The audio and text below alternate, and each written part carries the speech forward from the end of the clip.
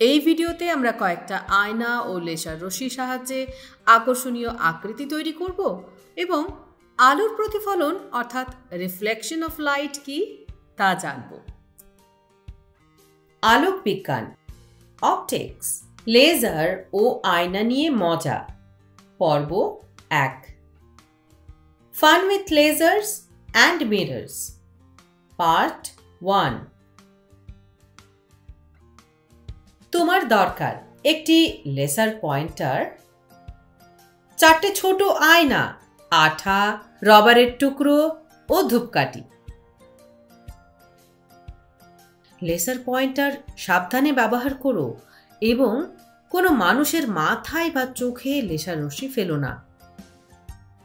আয়না ও রাবারকে আঠা দিয়ে একসাথে জুড়ে দাও, যাতে সেটি সোজাভাবে দাঁড়িয়ে থাকে।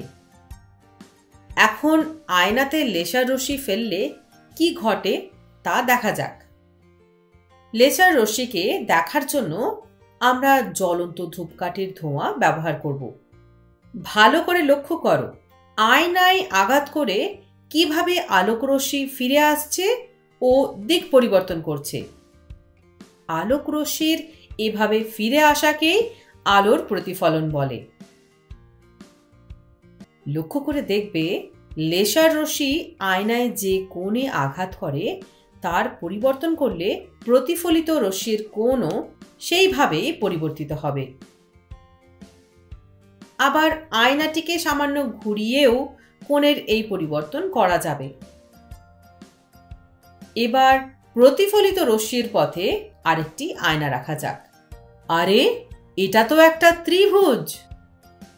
দূরত্ব ও আয়নার কোণ পরিবর্তন করে আমরা নানা ধরনের ত্রিভুজ তৈরি করতে পারি।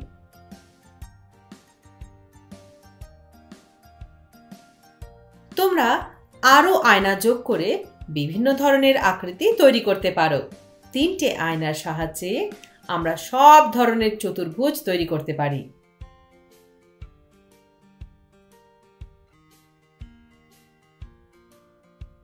কীভাবে লেসার রশ্মি সাহায্যে একটা তারার আকৃতি তৈরি করব।